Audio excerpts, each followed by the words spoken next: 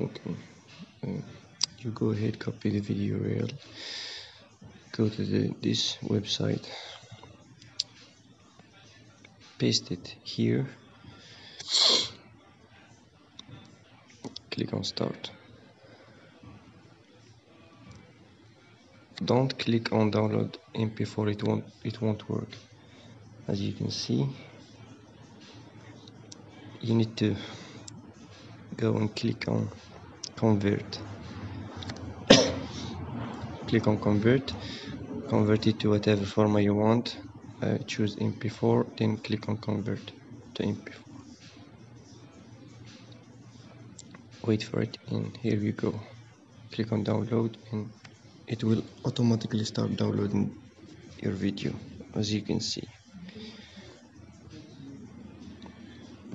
It works 100% okay.